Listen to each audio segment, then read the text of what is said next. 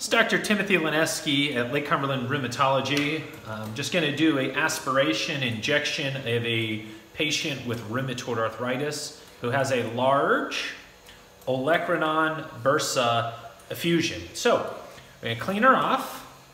And I'm going to give her a cold spray. And then we're going to aspirate.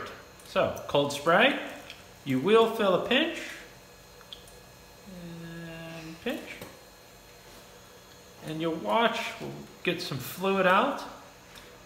And as you can see, the color of the fluid